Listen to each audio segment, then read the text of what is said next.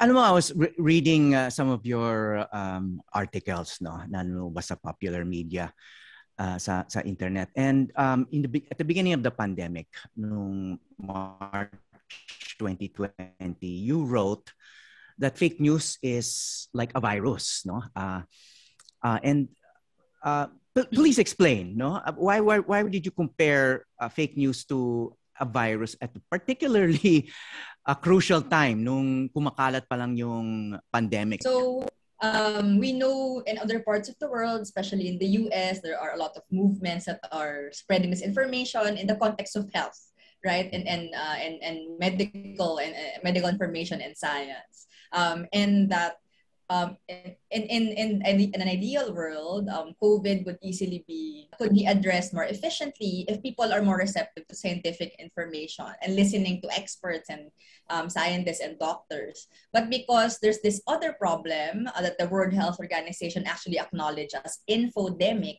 um, there's that, you know, it's, a bundle of problems. There's a pandemic, the virus is spreading. There's also the virus of false information spreading. And I think uh, why it's called the virus I guess why I, I use the metaphor of a virus to describe um, disinformation as a crisis is because it's really social in nature. Um, because there are people you trust, even if they don't have the expertise or the credentials to claim, I can, you know, I can be, I can talk about COVID vaccines, for instance, even if I'm not a doctor, but I trust this person. Uh, there's that dynamic of, you know, I believe not necessarily in the you know institutional authority of this person, but because of our social relationship.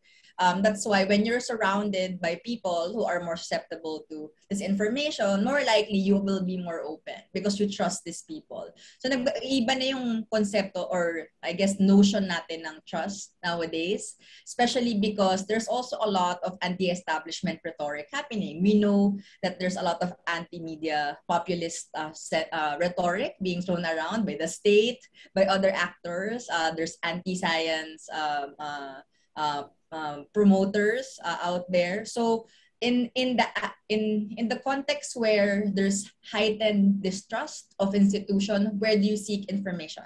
It's in the alternative sources, which are not people who can really vouch for this mm-hmm. information, but they do are, are out out there and you know are quite popular in fact because of that you know social capital they have online. Mm-hmm. Well, it ano, dito sa konteksto rin ng uh, pandemya, no? Eh, parang may nakita akong irony dito na you, you compared fake news nga to to a uh, virus, no? And uh, you know, after the pandemic was declared, nag-lockdown uh, sa Metro Manila and all over the world and all, most people were basically spending a lot more time in front of screens, no? So may nakita ka rin bang irony dito na you, you know, people were safer from uh, you know COVID viral viral uh, infection, but were actually became more vulnerable to the virus that is fake news because they were spending so much time uh, on in front of screens. Yes. So we are always at home, as you mentioned. Therefore, our access to that part of reality outside of our homes is impeded. No, there's a hindrance to actually confirm if something is really happening. Um, and that's one of the reasons why it's difficult for somebody who's not exposed to that uh, to, to what's happening outside of their homes to confirm it's really true because they don't have access to that to that to those events to those activities so they rely on other testimonials out there if somebody says 50,000 attendees yung pumunta sa rally ng isang politician.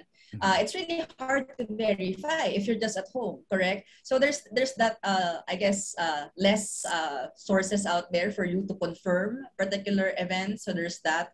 Wala kang um, ex- personal experience kung baga to, to claim na ay oo totoo I was there nakita ko siya. Mm-hmm. the thing is the this information environment is fueled by a lot of money and there's a whole machinery out there. So kung nood ka na nood ng video eventually kahit nanonood ka ng mainstream media darating ka dun sa mga content na possibly problematic or may disinformation.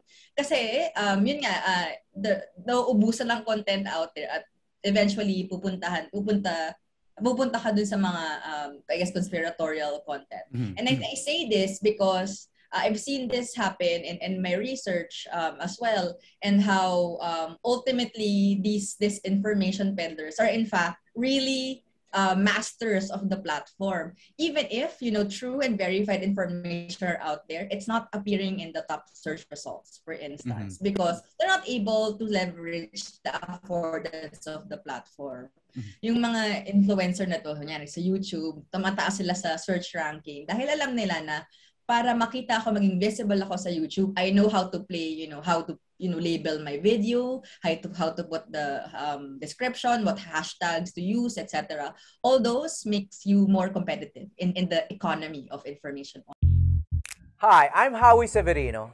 Check out the howie severino podcast an original for gma news and public affairs. New episodes will stream every thursday. Listen for free on spotify apple podcasts google podcasts and other platforms